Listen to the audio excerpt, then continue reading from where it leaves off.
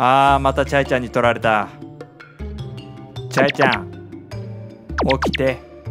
チャイちゃんこれ俺の席。ちょっとチャイちゃんたぬき寝入りしないで。猫です。チャイちゃん起きてるなら避けてよ。無理なの。揺らしても無理なの。勢いよく起きよう。チャイちゃん。MURI 何それチャイちゃん。無理。じゃあ仕方ないね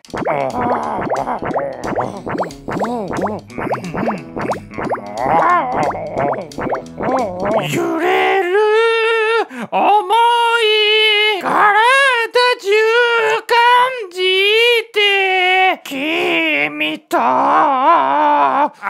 き続けたいああもう分かりましたよもう起きれるんじゃんチャイちゃんあどうしたんああなになになになになにああすっぽりオラオラオラオラオラ。オラ僕はチャイちゃんが寝てる隙にやりたいことがあります。最近気づいたんですがチャイちゃんのお洋服の一部がこんな感じで固まっている部分があるんです。これを僕は何とかしてあげたい。だいたいなんでこんなことになっちゃうんだろう。ということで僕はブラッシングをすることにした。な meow, meow, meow, meow, meow, meow, meow.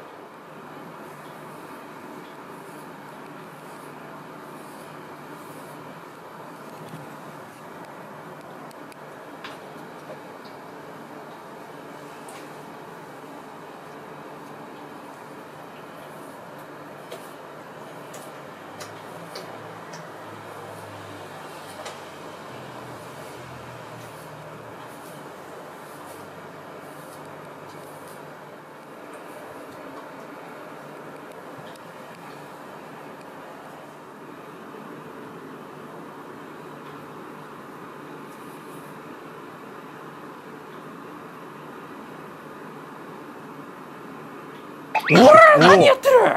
いやチャイちゃんのお洋服の毛が絡まってたから直そうと思って。勝手なことしないで。はい。なんていつもやってるんだから。触らないで。高いんだから。いや直してあげるって。おにゃん。触らないで。大丈夫だって。メロン。触らないでって言ってるよね。いや自分じゃ直せないからそんなに怒ることないじゃんチャイちゃん。あなたが嫌なことするからでしょ。ごめん。バカメロン。次回。やめて